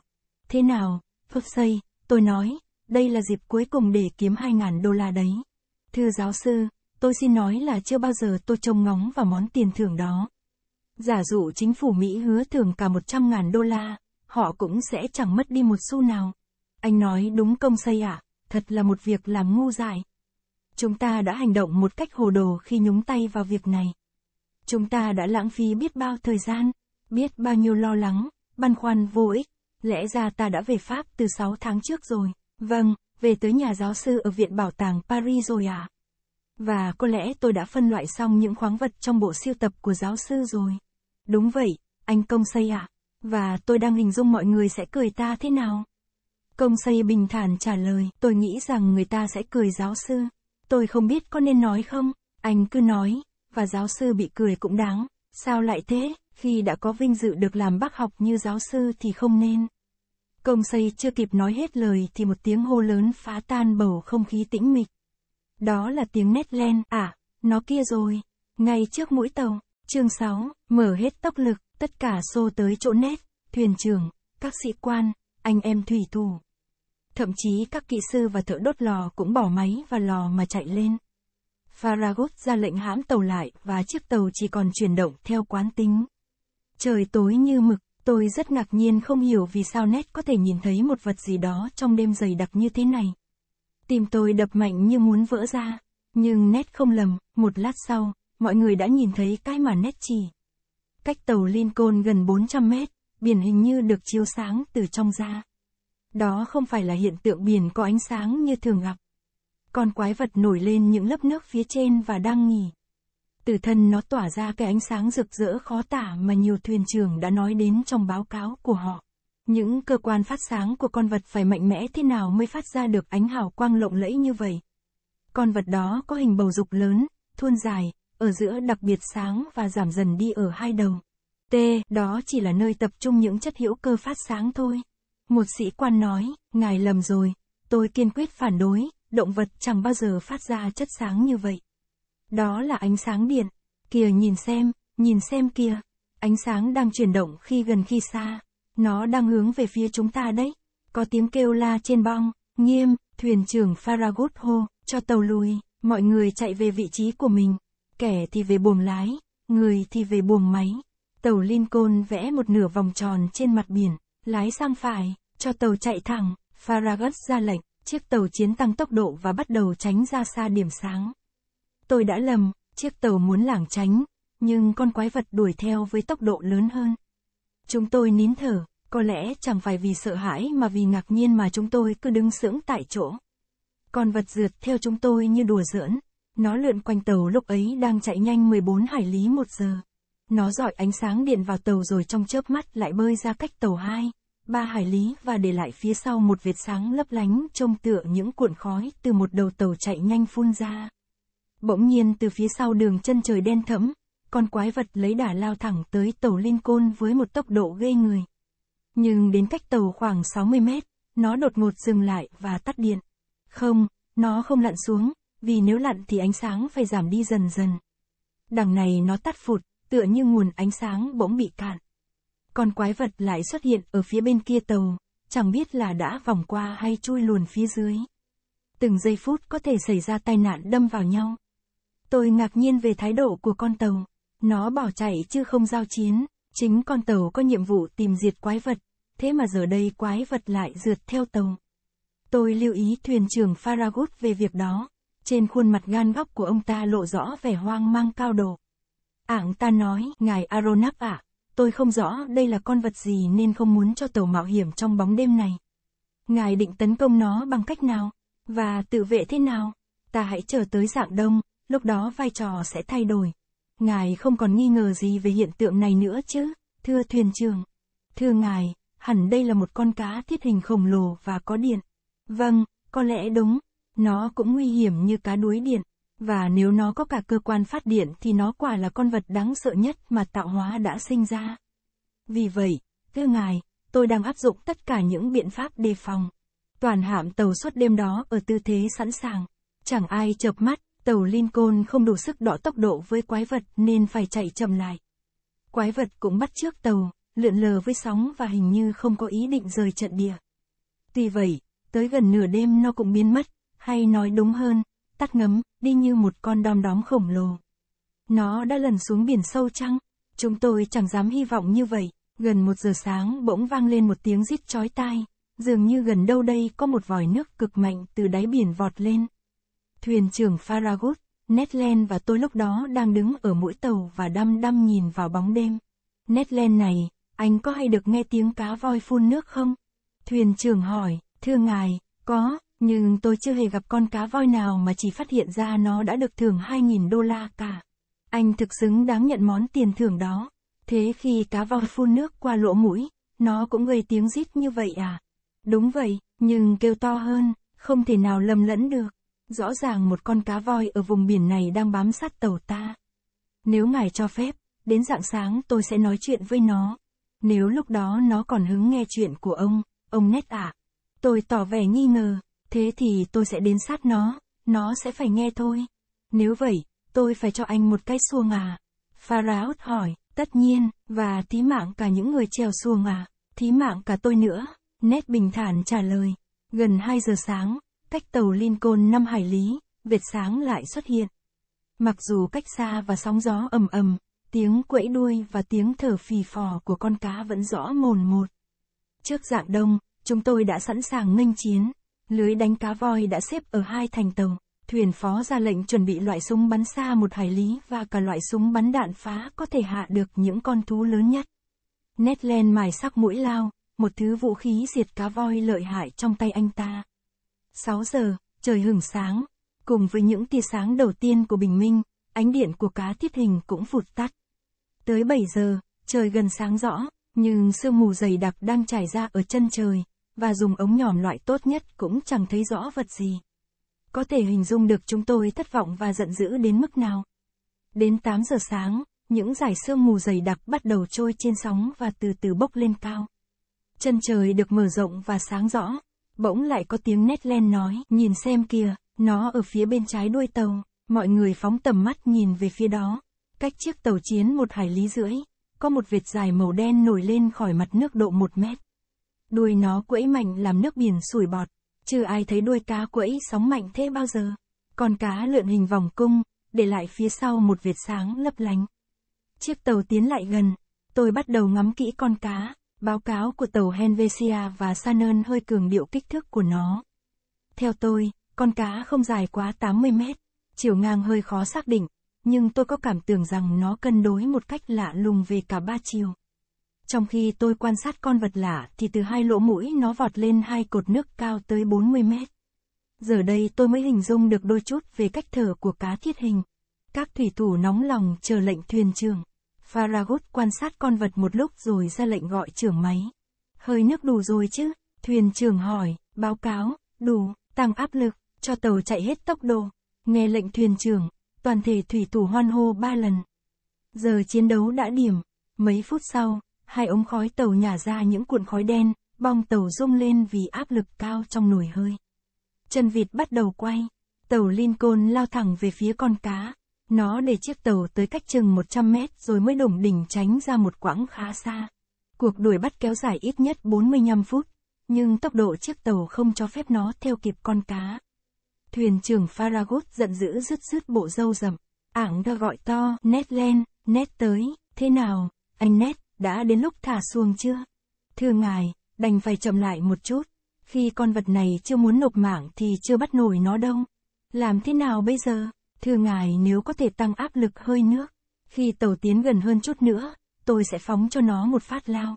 Anh đi đi, Farragut trả lời nét, rồi ra lệnh cho thợ máy tăng áp lực hơi nước. Nét len lên vị trí chiến đấu.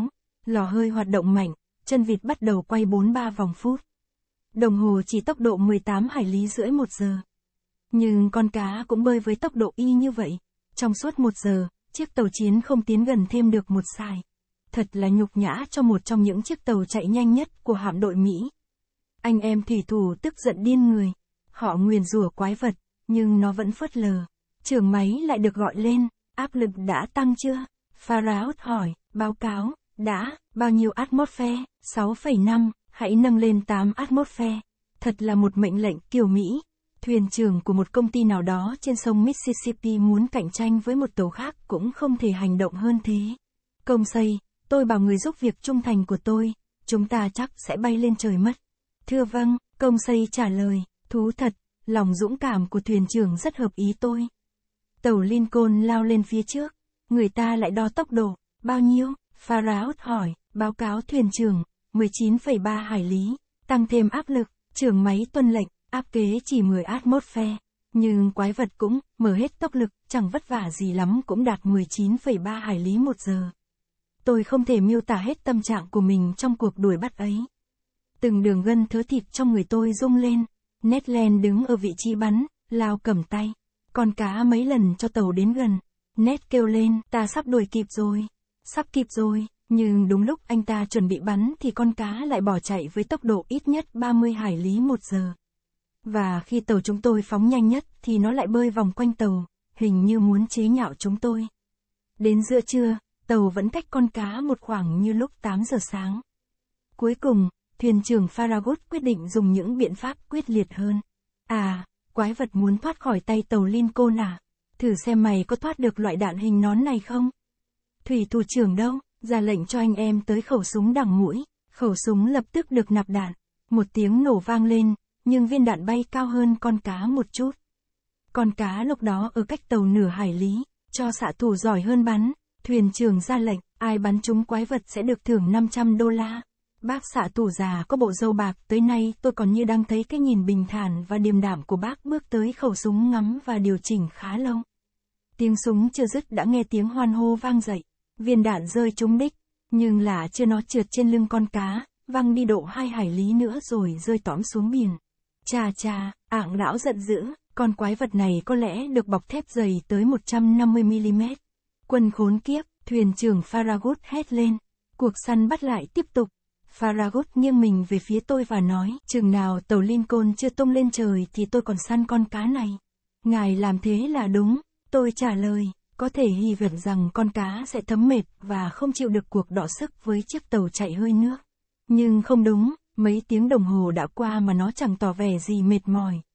Nói cho công bằng thì tàu Lincoln đã săn đuổi con cá một cách kiên trì đặc biệt. Tôi cho rằng nó đã vượt ít nhất 500 km trong ngày 6 tháng 11 rủi ro ấy. Nhưng đêm đã tới và chùm tấm màn đen lên đại dương đang nổi sóng. Trong giây phút đó, tôi cảm thấy cuộc tìm kiếm của chúng tôi đã kết thúc, và từ nay sẽ không bao giờ gặp quái vật nữa. Nhưng tôi đã nhầm, 10 giờ 50 phút đêm hôm ấy, cách tàu ba hải lý lại bừng lên ánh điện sáng chói như đêm trước. Con cá nằm yên, có lẽ vì thấm mệt nên giờ đây nó ngủ. Thuyền trưởng Farragut quyết định lợi dụng thời cơ thuận lợi này. Ảng ta ra lệnh cho tàu chạy từ từ để đối thủ khỏi thức giấc. Bắt gặp cá voi ngủ giữa biển khơi không phải là chuyện hiếm. Chính Netland đã bắn trúng nhiều con đang ngủ như vậy. Nét lại lên vị trí chiến đấu. Tàu Lincoln lặng lẽ tới cách con cá 400 mét. Đến đây, máy ngừng chạy, tàu chỉ còn chuyển động theo quán tính. Trên bong im lặng hoàn toàn, mọi người đều nín thở, chúng tôi chỉ còn cách điểm sáng khoảng 30 mét, độ sáng mỗi lúc một tăng lên làm chúng tôi lóa mắt. Tôi đứng tựa thành tàu và thấy nét đứng phía dưới, vũ khí sẵn sàng. Tàu chỉ còn cách con cá hơn 6 mét, cánh tay nét bỗng dơ cao, phóng mũi lao sắt lên không trung. Một tiếng kêu lanh lảnh phát ra như tiếng kim loại chạm nhau. Ánh điện tắt phụt, hai cột nước khổng lồ ập xuống bong tàu, quật ngã mọi người. Tàu kêu răng rắc một cách ghê sợ. Tôi chưa kịp biếu lấy thành tàu thì đã bị văng xuống biển. Chương 7 Con cá voi không biết thuộc loại nào, bất thần bị ngã xuống biển. Tôi choáng váng nhưng không bị ngất. Tôi chìm ngay xuống sâu khoảng 6 mét. Tôi bơi giỏi, và không đến nỗi mất tinh thần khi rơi xuống nước. Tôi quẫy hai cái thật mạnh và nổi lên mặt biển. Tôi đưa mắt tìm tàu Lincoln. Nó có quay đi hướng khác không? Farragut có biết thả xuồng xuống tìm tôi không? Có hy vọng thoát nạn không? Bóng tối dày đặc, khó khăn lắm tôi mới nhận ra một khối đen ở đằng xa đang chạy về phía đông, ánh đèn tắt dần. Đó là chiếc tàu chiến. Thế là hết. B. Cứu tôi với, cứu tôi với. Tôi kêu to và cố sức bơi theo chiếc tàu. Quần áo bị sũng nước dính chặt vào mình làm tôi khó cử động. Tôi bị chìm xuống và ngạt thở. Cứu tôi với, tôi kêu lên lần cuối. Tôi bị sặc nước và cố chống lại, nhưng đáy biển sâu cứ kéo tôi xuống. Bỗng một cánh tay mạnh mẽ nắm lấy cổ tôi kéo tôi lên mặt nước. Rồi tôi nghe thấy, vâng, đúng là nghe thấy tiếng người nói bên tai, nếu giáo sư tựa vào vai tôi thì sẽ dễ bơi hơn. Tôi nắm lấy tay công xây trung thành của tôi. Công xây đấy à? Tôi reo lên, công xây, anh bị ngã xuống nước cùng tôi à? Thưa không, nhưng là người giúp việc giáo sư, tôi phải theo ngài. Anh ta thấy hành động đó của mình là tự nhiên, thế tàu đâu? Công xây vừa bơi ngửa vừa trả lời, xin giáo sư đừng trông chờ gì ở nó nữa. Anh nói gì vậy? Khi tôi nhảy xuống biển thì người trực ban kêu lên, chân vịt bị gãy rồi. Gãy rồi à? Vâng, quái vật đã dùng sừng nhọn đâm thủng. Tôi nghĩ rằng tàu Lincoln chỉ bị hỏng xoang. Nhưng đối với chúng ta thì rất đáng buồn vì tàu không điều khiển được nữa. Thế thì chúng ta đành chịu chết. Có nhiều khả năng, công xây bình thản trả lời. Chúng ta còn mấy tiếng đồng hồ nữa, trong thời gian đó có thể xảy ra nhiều chuyện. Thái độ bình tĩnh của công xây đã động viên tôi.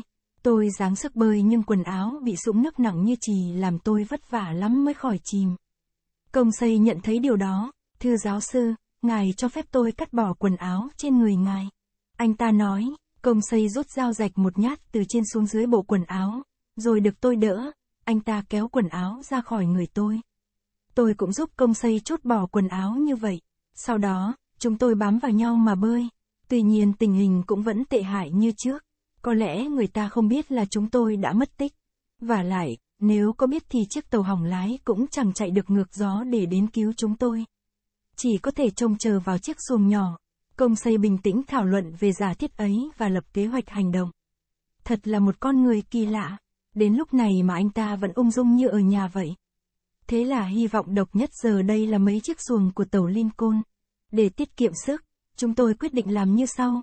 Trong khi người này khoanh tay, duỗi chân, nằm ngửa để nghỉ, thì người kia vừa bơi vừa đẩy đi. Cứ 10 phút chúng tôi lại thay phiên. Như vậy, chúng tôi hy vọng có thể sống trên mặt nước vài tiếng đồng hồ, có thể tới dạng đông. Hy vọng thật mong manh, nhưng con người sinh ra ở đời vốn không bao giờ tuyệt vọng. Và lại, chúng tôi có những hai người. Chiếc tàu chiến và quái vật đâm vào nhau khoảng 11 giờ đêm. Nghĩa là còn gần 8 tiếng đồng hồ nữa mới sáng. Nhiệm vụ đề ra hoàn toàn có thể hoàn thành được nếu chúng tôi được luân phiên nghỉ. Biển lặng, bơi không vất vả lắm. Thỉnh thoảng tôi lại nhìn vào bóng đêm dày đặc đôi chỗ có ánh nước sáng như lân tinh. Tôi nhìn những làn sóng lấp lánh vỗ vào tay tôi rồi tản ra trên mặt biển. Gần một giờ sáng, tôi bỗng cảm thấy mệt mỏi dã rời. Công xây phải đỡ tôi và cáng đáng cả gánh nặng của hai người. Một lát sau, tôi thấy tiếng thở nặng nhọc và hồn hển của anh ta. Công xây đuối hơi, tôi hiểu rằng anh ta không cầm cự được lâu nữa. Buông tôi ra, buông ra, tôi nói, buông giáo sư ra ư. Không đời nào, công xây trả lời, có chết thì tôi chết trước. Trong giây phút đó, mặt trăng ló ra từ sau đám mây đen và gió đang lùa về phía nam. Ánh trăng hiền hòa cho chúng tôi thêm sức. Tôi ngẩng đầu lên và đưa mắt nhìn chân trời. Phía xa, cách chúng tôi năm hải lý, bóng chiếc tàu chỉ còn lờ mờ. Nhưng chẳng thấy một chiếc xuồng nào. Tôi muốn kêu lên, nhưng cách xa thế ai nghe thấy tiếng tôi, và lại, môi tôi bị sưng vếu lên không sao há ra được. Lúc đó công xây dáng sức la to, cứu chúng tôi với, cứu chúng tôi với, ngừng lại một giây, chúng tôi lắng nghe. Cái gì vậy? tài bị ù vì máu dồn lên đầu, hay là tiếng đáp lại lời kêu cứu của công xây? Anh có nghe thấy không? Tôi khẽ hỏi, có, rồi công xây lại ra sức kêu. Không lầm được nữa rồi. Có tiếng người đáp lại công xây.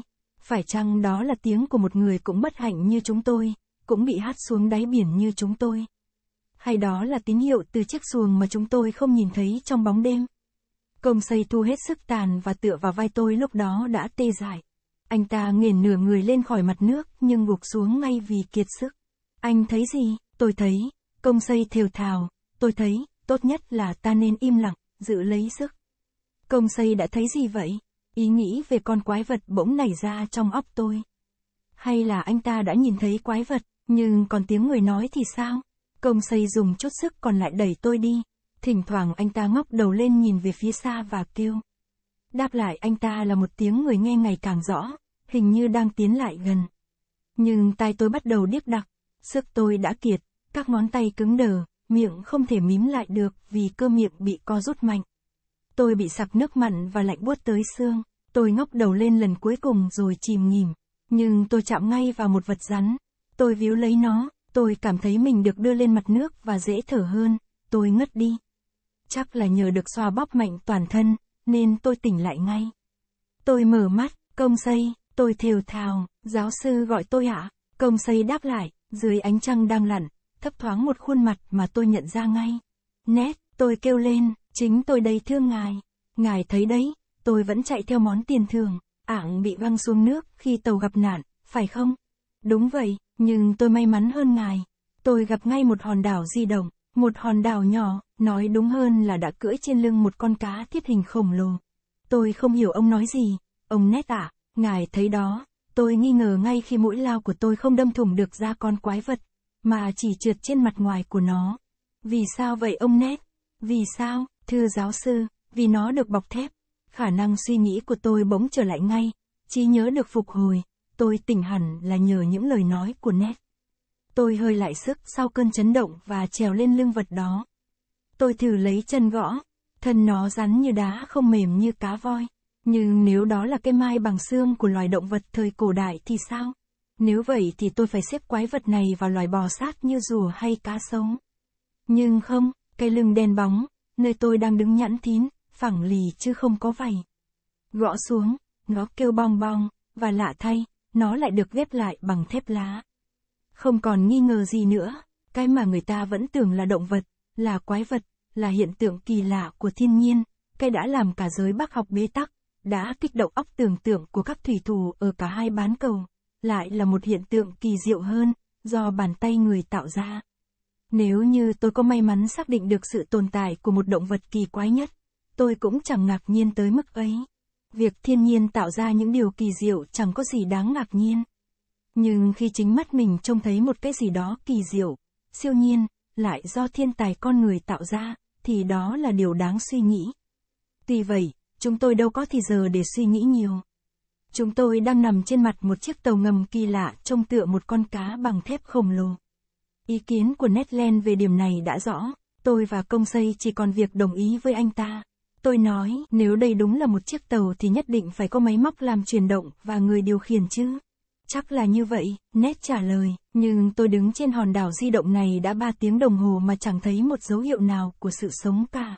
Nhưng chiếc tàu chuyển động chứ, thưa ngài, không, nó bập bềnh trên sóng chứ chẳng chuyển động chút nào. Chính chúng ta đã biết rõ hơn ai hết tốc độ con tàu này.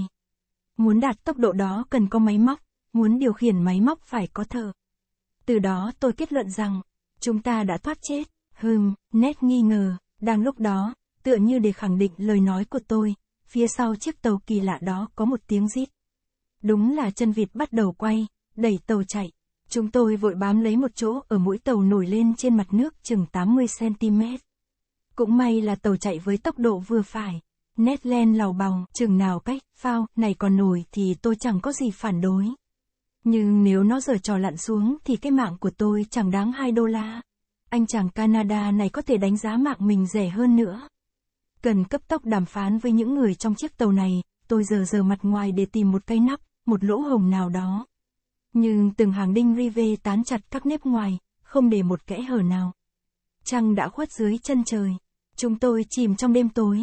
Phải đợi tới dạng đông để tìm cách lọt vào phía trong con tàu.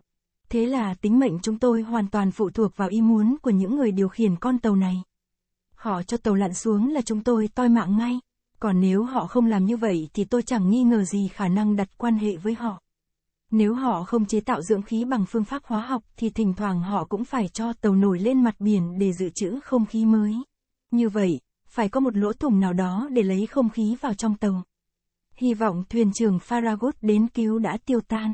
Tàu đang chạy về phía tây với tốc độ vừa phải, có lẽ không quá 12 hải lý một giờ.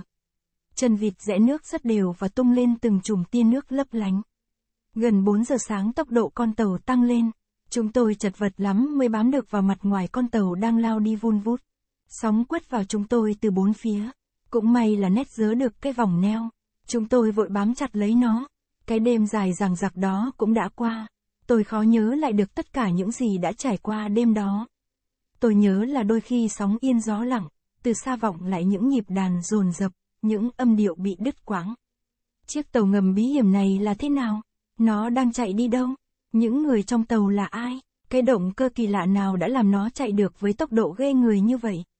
Trời đã sáng, sương sớm vây quanh chúng tôi một màu trắng đục, nhưng rồi sương cũng tan. Tôi đã định xem xét kỹ phần trên của thân tàu nổi lên mặt nước thì bỗng cảm thấy tàu từ từ lặn xuống. Đồ quỷ, Netland vừa quát vừa nện chân xuống vỏ tàu, mở ra nhanh lên, nhưng khó có thể nghe được cái gì, vì tiếng chân vịt quay ầm ầm. Cũng may là tàu tạm ngừng không lặn xuống nữa. Từ phía trong tàu có tiếng then cửa lạch cạch, nắp tàu mở ra, một người thò đầu lên nhìn. Hắn kêu lên một tiếng không nghe rõ rồi biến mất. Mấy phút sau, từ trong tàu bước ra tám người lực lưỡng, mặt bịt kín. Họ lẳng lặng kéo chúng tôi vào trong chiếc tàu ngầm khủng khiếp của họ. Chương 8 Mobile in Mobile, cuộc bắt cóc trắng trợn đã diễn ra trong nháy mắt. Chúng tôi mãi không hoàn hồn. Tôi chẳng biết hai người kia cảm thấy gì trong cái nhà tù này, nhưng tôi thì sờn gai ốc. Những người trong tàu này là ai? Hẳn đây là bọn phỉ kiểu mới đang hoành hành ngoài biển theo cách chúng mới nghĩ ra.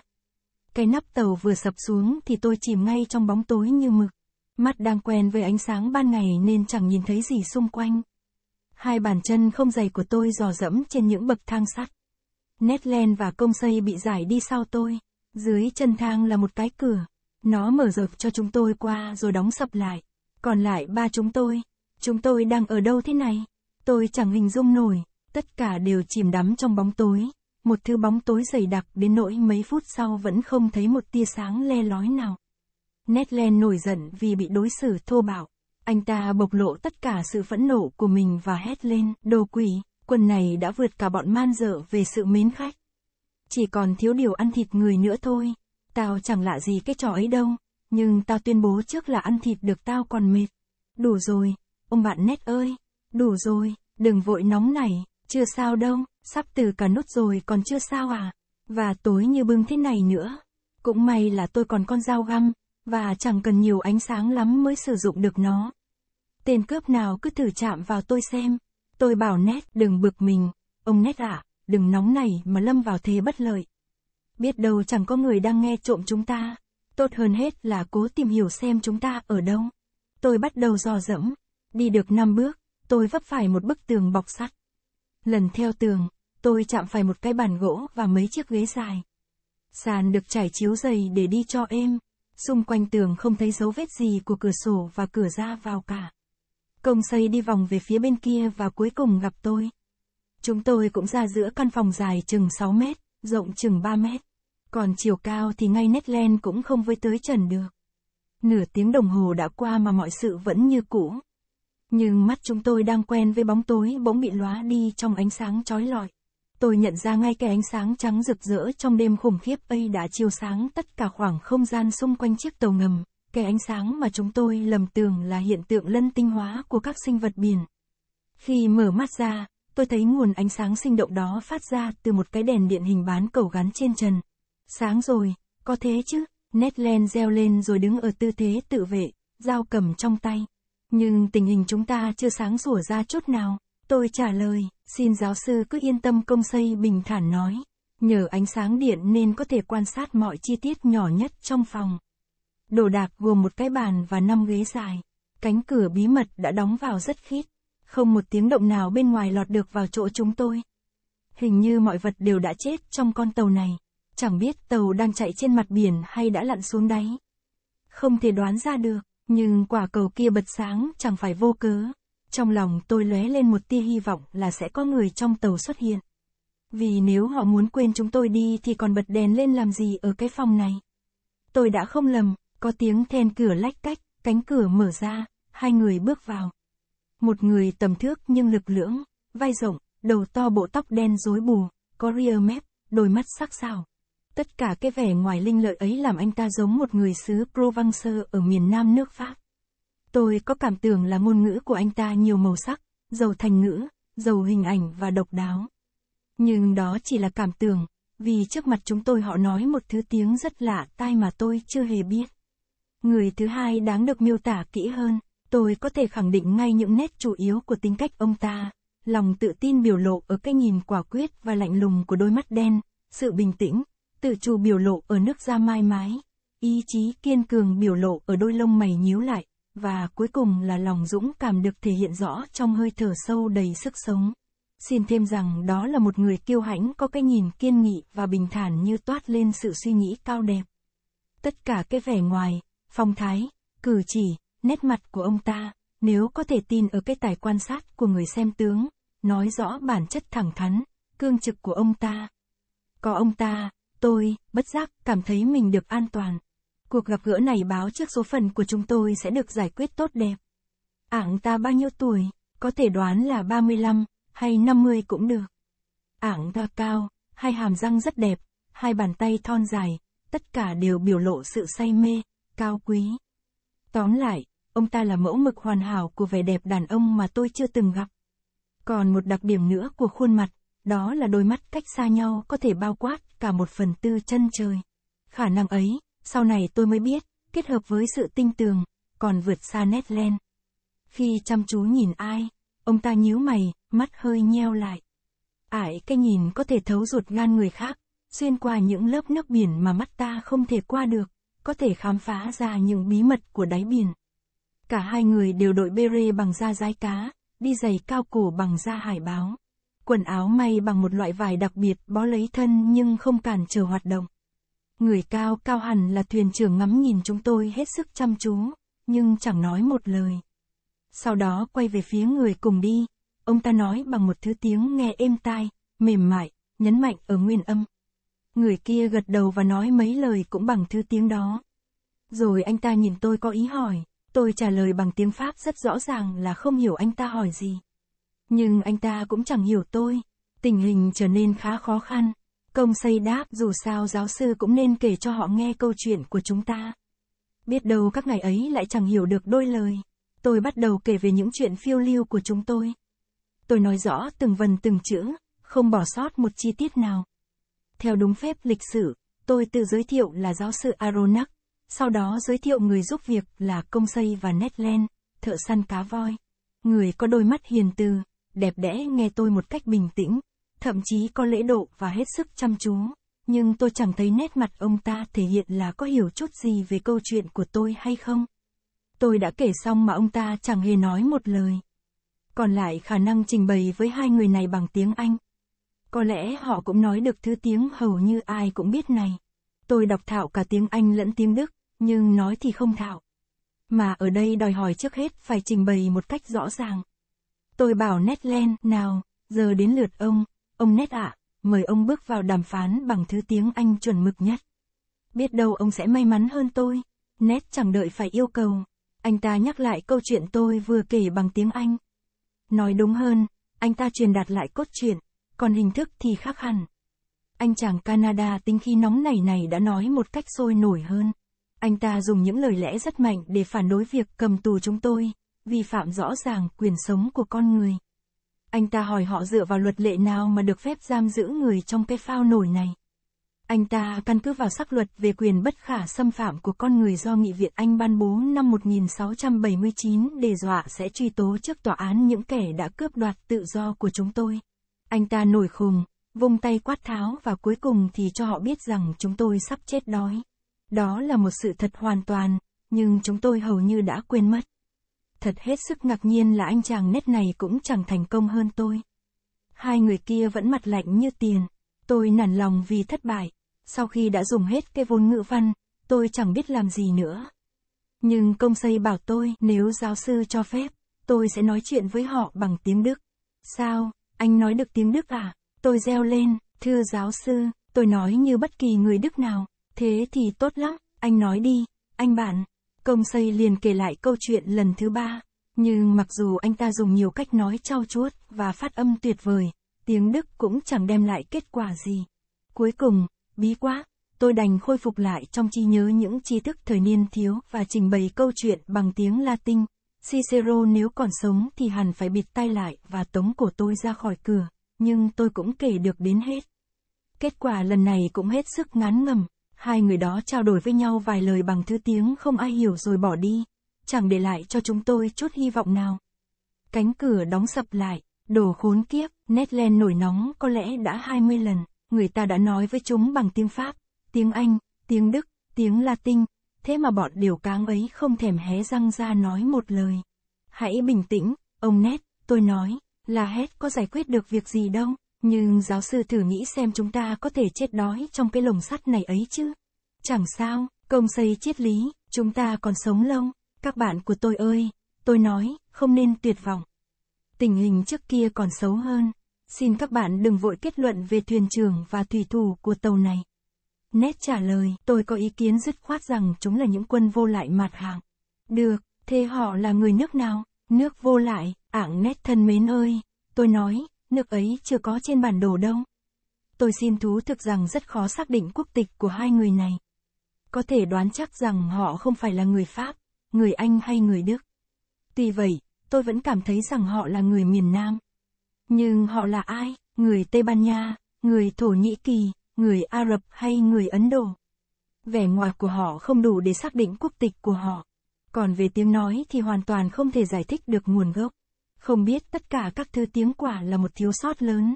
Công xây nhận xét, nếu tạo ra được một thứ tiếng chung thì có lẽ giản tiện hơn. Thế cũng chẳng ăn thua. Netland phản đối, anh không thấy là bọn này nói một thứ tiếng do chúng bịa ra để làm cho những người tử tế đang bị đói phải nổi khùng lên à? Ở tất cả các nước trên thế giới, ai cũng phải hiểu rằng khi một người nào đó há mồm ra chóp chép là muốn bảo, tôi đang đói đây, cho tôi ăn đi, ê, công xây nói, cũng có những người chậm hiểu. Công xây chưa nói hết câu thì cánh cửa mở ra, một người phục vụ bước vào, mang cho chúng tôi quần áo may bằng thứ vải kỳ lạ. Tôi vội mặc ngay vào, công xây và nét cũng làm theo tôi. Trong khi đó, người phục vụ một người câm, có khi điếc nữa trải khăn bàn và bày ba bộ đồ ăn. Công xây nói, tình hình đang rẽ sang một bước ngoặt quan trọng. Bắt đầu như vậy là đáng phấn khởi. Thôi đi, nét phản đối, món ăn của chúng thì ra quái gì? Chắc là sẽ có món gan rùa, thịt than cá mập và bi tết thịt chó biển chứ gì. Lát nữa sẽ rõ, công xây nói, các món ăn được đậy bằng những lồng bàn nhỏ bằng bạc và bày ngay ngắn trên bàn trải khăn tươm tất. Chúng tôi ngồi vào bàn. Đúng là chúng tôi đang tiếp xúc với những con người văn minh. Nếu như không có ánh điện thì có thể tưởng tượng rằng mình đang ngồi trong khách sạn Adenfi ở Liverpool hay khách sạn Grand Hotel ở Paris. Nhưng họ không cho chúng tôi bánh mì và rượu vang, nước uống trong và mát, nhưng dù sao vẫn là nước trắng. Điều đó làm cho Netland chẳng hài lòng chút nào. Trong số những thức ăn mang đến, tôi thấy có mấy món cá quen thuộc nấu rất khéo. Nhưng mấy món khác thì tôi đành chịu không xác định được là chế biến từ động vật hay thực vật. Các bộ đồ ăn được trình bày rất mỹ thuật và sang trọng. Trên thìa, dĩa, dao, đĩa đều khắc mấy chữ in hình vòng cung, nguyên văn như sau, M O B I L I S in mobile N nghĩa là, linh hoạt trong môi trường linh hoạt. Phương châm thích hợp một cách kỳ lạ với chiếc tàu ngầm này. Chữ N hẳn là chữ đầu của tên con người đang làm chủ biển sông. Nét và công xây không suy nghĩ như vậy. Họ lao vào ăn uống và tôi cũng theo gương họ. Giờ đây tôi đã yên tâm về số phận của ba người. Tôi cảm thấy rõ rằng những người chủ nhà của chúng tôi sẽ không để chúng tôi chết đói. Mọi sự trên đời này đều trôi qua, đều có kết thúc, ngay cái đói của những người suốt 15 tiếng đồng hồ không có gì vào bụng. Enron rồi chúng tôi thấy buồn ngủ díp mắt, phản ứng đó là hoàn toàn tự nhiên sau cuộc vật lộn với thần chết trong cái đêm dài vô tận ấy. Chà chà, tôi buồn ngủ quá, công xây nói, mình thì đã ngủ rồi, Netland trả lời. Thế là hai bạn tôi nằm thẳng cẳng trên chiếc chiếu trải dưới sàn và thiếp đi ngay. Nhưng tôi chẳng dễ ngủ như vậy. Hàng ngàn ý nghĩ vấn vương trong lòng, hàng ngàn câu hỏi chưa được giải đáp đang đặt ra với tôi, hàng ngàn hình ảnh không cho tôi chợp mắt. Chúng tôi đang ở đâu? Sức mạnh nào đang cuốn chúng tôi đi? Tôi cảm thấy tàu đang lặn xuống những lớp biển sâu nhất. Những cơn ác mộng ám ảnh tôi. Từ đáy biển huyền bí hiện lên từng đàn cá kỳ lạ, hình như cùng loại với con tàu, cũng linh hoạt và dữ dội như thế. Trạng thái hưng phấn của não dịu dần đi, mộng mị cũng biến mất. Tôi thiếp đi trong giấc ngủ nặng nề,